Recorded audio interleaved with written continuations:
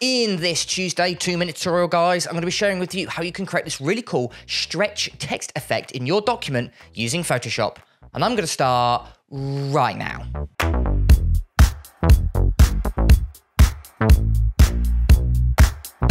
Right guys, the very first thing you want to do is go ahead and open up Photoshop and open up a blank document.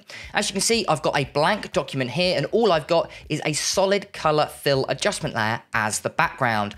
I didn't want the background to be white, I wanted it to be black.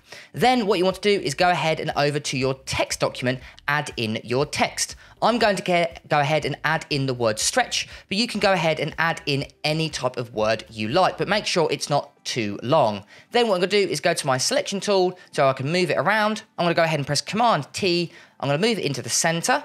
And I'm also going to make it a slightly larger. I'm going to go ahead and click enter to confirm. Now what we want to do is we want to go ahead and stretch it, but we can't do that when it is a live text. So what we're going to do is we're going to convert it into a shape. So I'm going to do is go to that layer here, right click, and I'm going to go ahead and convert it into a shape. Once we've done that, what we can do now is use the direct selection tool.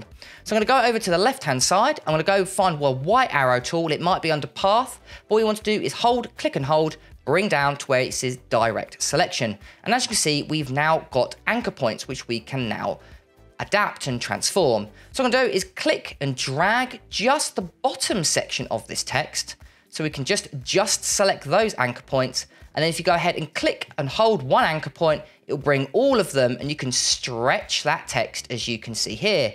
And what I'm gonna do is stretch it all the way down. Then what I'm gonna do is go back to our selection tool and all I'm gonna do is just simply move it back into the middle. And as you can see, we've stretched that text. But if you want to add a little bit more effect, you can add in a gradient overlay, a drop shadow. I've got all of those particular tutorials on my channel. So if you go ahead, here is the before, and here is the after. And make sure to go to the playlist in the description if you want to know any more cool effects that you can do to your text.